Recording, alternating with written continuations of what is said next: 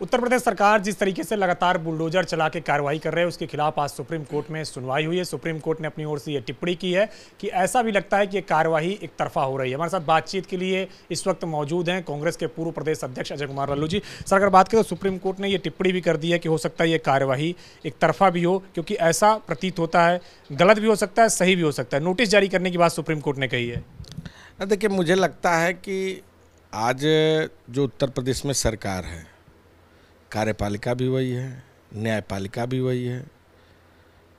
और सभी चीज़ों को अपने अंदर समाहित करके चल रही है। देश संविधान से चलता है। संविधान से सर्वोपरि कोई नहीं हो सकता। अगर विधानसभा का गठन हुआ है और सरकार बनी है तो वो संवैधानिक एक प्रक्रिया है। और मैं समझता हूँ कि संविधान का अगर सदन और सदन के मुखिया पालन न करें तो यह देश के लिए दुर्भाग्य है। किसी घर को बनाने में बड़ा समय लगता है, लेकिन किसी घर को तोड़ना तो बस चंद सेकंड का काम होता है। और मैं समझता हूँ कि अगर सरकार न्यायपालिका के हाथों में ज़िम्मेदारी देती, न्यायपालिका तय करती, किसी भी व्यक्ति को सजा देने का प्रावधान उसी को है तो न्यायपालिका अपना काम करती।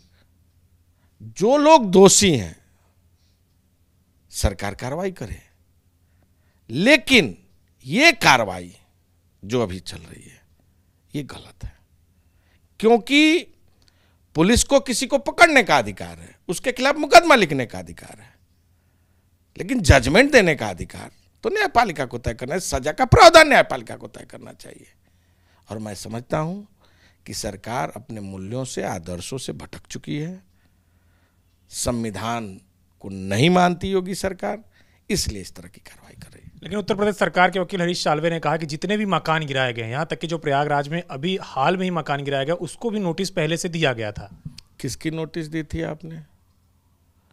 क्या न्यायपालिका ने तय किया था कि इनका घर गिरा देना चाहिए? जो तथ्य और प्रमाण है वह यह साबित करता है कि सरकार असंवैधानिक काम कर रही है। अगर वो मकान था तो हाउस टैक्स वहाँ पर बिजली का बिल, वहाँ पर पानी का बिल, सरकारी सुविधा कैसे प्रोवाइड करा दी गई? ये तो जो जवाब है, वो तो सरकार को देना पड़ेगा। और मुख्यमंत्री क्या संविधान से बड़े हैं? न्यायपालिका से बड़े हैं? ये माना जाएगा कि आज आप सत्ता में है, सरकार में सत्ता के घमंड में चूर हैं। लेकिन कल आप भी पूर्व मुख्यमंत्री होंगे। और पूर्व मुख्यमंत्री होंगे तो उस समय आप संविधान की दुआई देंगे। और मैं समझता हूँ कि किसी भी व्यक्ति को यह सोच के चलना चाहिए कि हम निर्माण करने आए हैं अच्छा करने आए हैं। रोजी रोज़गार की व्यवस्था करने आए हैं। उत्तर प्रदेश को न्यायप्रद व्यवस्था बनाने के लिए आए हैं, न कि विध्वंसात्मक राजनीति करने आए हैं। और सबसे बड़ा विषय है उत्तर प्रदेश में, जो बेरोजगारी एक सबसे बड़ा सवाल है। महँगाई सबसे बड़ा सवाल है, कानून व्यवस्था सबसे बड़ा सवाल है। इसलिए सरकार पूरे चीज़ों के ध्यान को अलग थलग करके इस तरह के अपने एजेंडे को सेट कर रही है। एक समय है चल रहा है याद रखिएगा योगी जी यही नौजवान उल्टेगा और आने वाले दिन में आपको सबक सिखाएगा।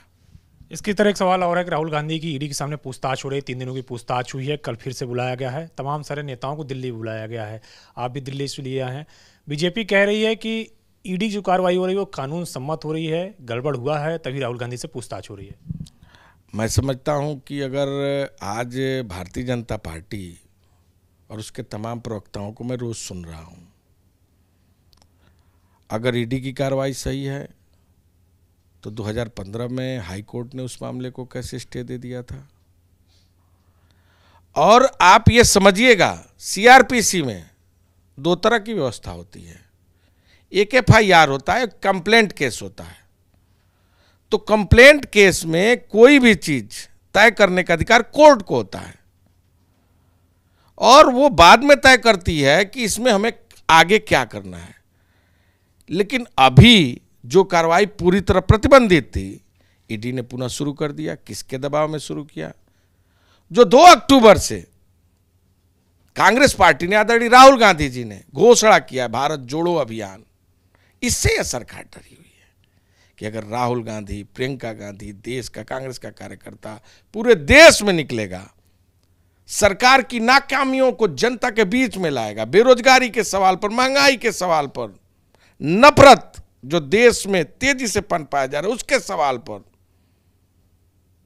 चीन जिस तरह भारत की सीमा में लगातार घुसता जा रहा है, भारत की तमाम जमीनों को उसने कब्जा कर लिया है।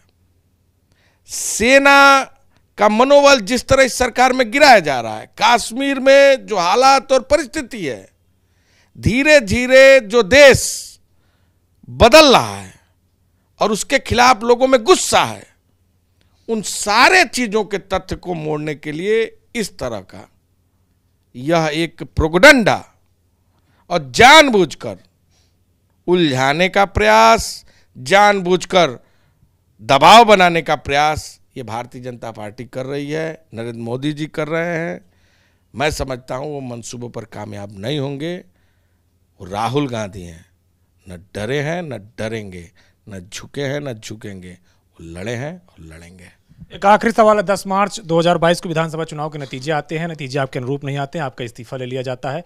तीन महीने के ऊपर समय हो चुका है, अभी तक कांग्रेस का प्रदेश अध्यक्ष उत्तर प्रदेश में नहीं मिला है। और शायद यही कारण है कि शायद रामपुर और आजमगढ़ लोकसभा उपचुनाव भी नहीं लड़ रहे हैं आप। नहीं, देखिए, ये मैं समझता हूँ कि उसके भी जो प्रक्रिया है, वो हमारे जो राष्ट्रीय नेतृत्व है, लगातार उस पर ध्यान दे रही है और जल्द ही राष्ट्रीय नेतृत्व अध्यक्ष का फैसला करेगी।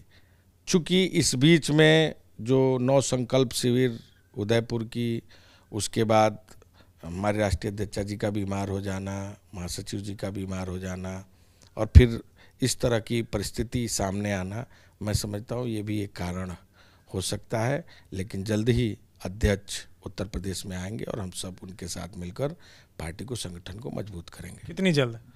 जल्दी आ जाएँगे। शुक्रिया से बातचीत करने लिए। ये कांग्रेस के पूर्व प्रदेश अध्यक्ष अजय कुमार लल्लू हैं जिनका कहना है कि जिस तरीके से तमाम सारी कार्रवाई हो रही है वो बिल्कुल न्याय सम्मत नहीं है चाहे वो उत्तर प्रदेश में बुलडोजर की कार्रवाई हो या फिर राहुल गांधी के खिलाफ ईडी की कार्रवाई हो। कैप्टन विपिन के साथ अविनाश तिवारी एबीपी गंगा दिल्ली।